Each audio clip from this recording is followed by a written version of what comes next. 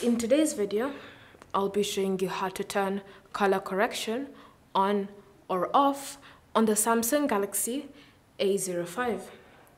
Begin by opening settings and in settings, scroll and select accessibility. Under accessibility, tap on vision enhancements. Then from here, look for the option color correction. Once you've selected it, you should see the option to turn it on. So simply tap on the toggle and you'll notice an immediate change in your screen. Next, we can customize how you want the screen, to, the screen display to look.